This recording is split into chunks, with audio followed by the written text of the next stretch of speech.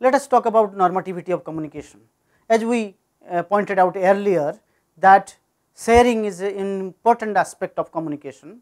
So, both the teacher and the student or the speaker or the hearer they try to share certain ideas, certain thoughts, feeling, experiences. So, sharing is an important aspect of human communication.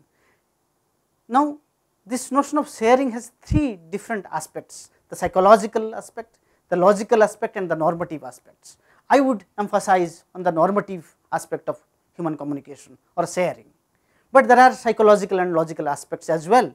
So, here I quote uh, Pradhan saying that communication is a spontaneous outburst of ideas and experiences which need to be shared intends to go out of himself and communicates with his audience real or imaginary. So, it shows that it is kind of a spontaneous urge to communicate. So, human beings have uh, not only ideas and thoughts and experiences. So, there is an urge to communicate. So, it makes us intrinsically a communicative being. Now, this urge is not just a psychological urge, but there is also a logical aspect to this. The logical aspect will show that how there is a difference between the I, the speaker and the hearer. How does I recognize myself as a speaker? How does I recognize this very fact that I am speaking to somebody else? I am somebody would else would respond to it, somebody else will understand it. So, when I say something, I solicit the response of the hearer. Now, this whole idea of soliciting a response involves two important concepts, the self on the one hand and the other on the other hand. The self and the other are two distinct individuals or I and you are two distinct individuals and in the case of a normative communication we try to show that how certain values if inculcated in the framework of communicative intentionality then they succeed in bridging the gap between the self and the other the speaker and the hearer the addressee the addresser and the addressees. So, therefore, it has a logical component as well, because it treats two individuals as distinct individuals. And then try to show that how they are normatively bound. So, so communication has psychological, logical and normative aspect. And as we have mentioned that it is it is a normative way of communicating uh, to the other is to be appreciated here and why it is to be appreciated here. Because when we communicate something to the other, there is a deep personal involvement we talk about and something which is uniquely personal and I make an appeal by saying something to you, I make an appeal to you. So, that is how it I solicit your response and and by saying this I uniquely identify me as a particular individual and this individual is appealing to the hearer and the hearer must respond to that. So, so it is in this context our individual personal identity has been very creatively thought out as a normative engagement and that would put both hearer and the speaker in one platform and that would construe um, or that would uh, show that how moral identity is built up. Now, it is in this context we also need to uh, take into account what is the notion of understanding, where does understanding uh, emerge as a kind of an outcome of this whole process of communication. So, communication is complete when the addressee or the hearer grasps the content of what has been said to him. This grasping is a, indeed a cognitive act. I understand what has been said to me, but it is not just merely cognitive. If the hearer is not competent, then certainly um, the communication will fail. But that is not the uh, point I am emphasizing here. I am emphasizing here that communication would can be incomplete um, I am emphasizing here that communication could be incomplete, could be a failure uh, due to various reasons.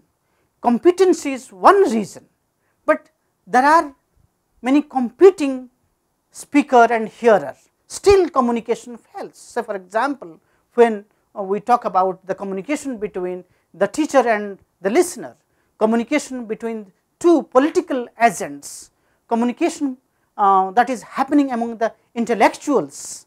Um, so, in, in these cases, we talk about that how we need to place these two individuals in a normative framework and in one platform where their activities are normatively conditioned and that would talk about communication is intersubjective or interpersonal as we have been uh, talking about. This intersubjectivity is nothing but shows or highlights how we are committed to what we say and what kind of obligations the speaker or the hearer um, inculcate in their uh, framework of uh, communication. What kind of obligation or commitment the speaker and the hearer um, have when they communicate and uh, respond to the other. So, so it is not just merely a communication is a self interested activities. The self interest does not really follow from uh, being rational.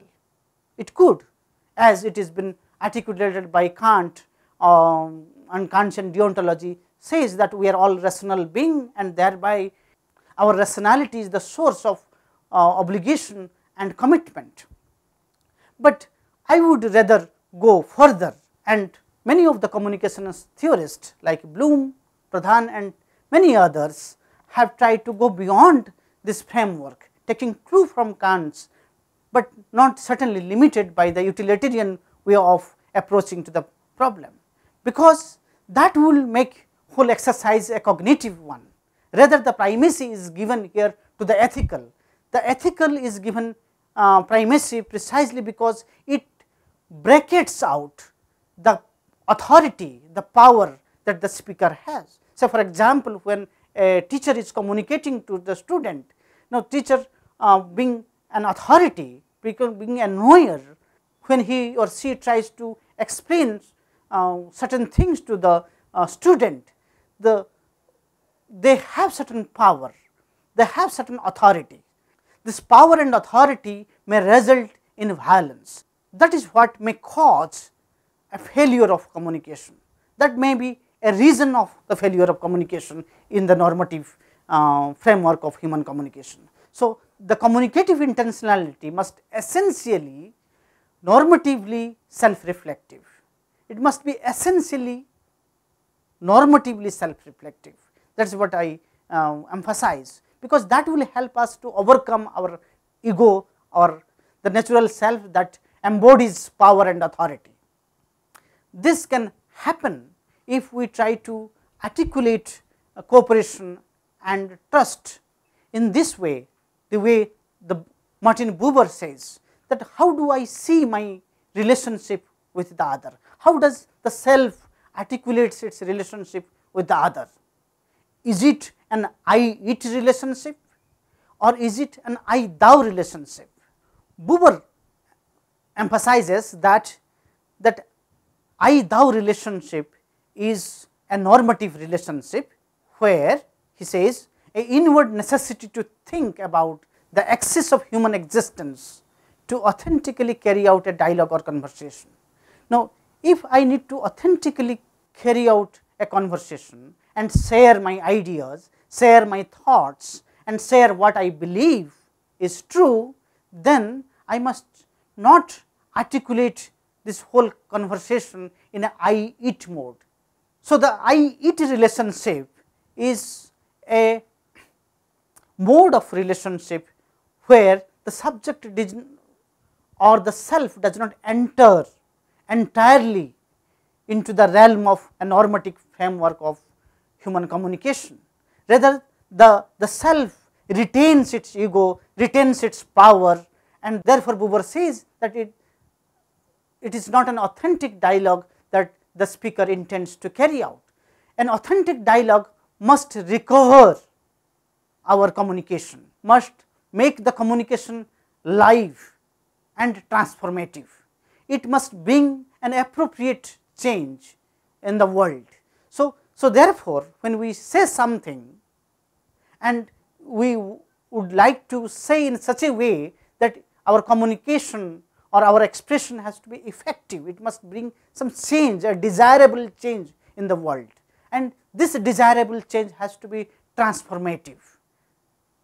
So, it is in this context Gosberg points out uh, referring to Levinas and uh, Buber that our communication is uh, not only interpersonal and intersubjective, rather understanding is intersubjective. When communication becomes intersubjective and understanding then is defined as intersubjective. So, the individuality of the speaker enters into a different realm of communications, where the, there is no gap between the subject and the object. There is no gap between the speaker and the hearer.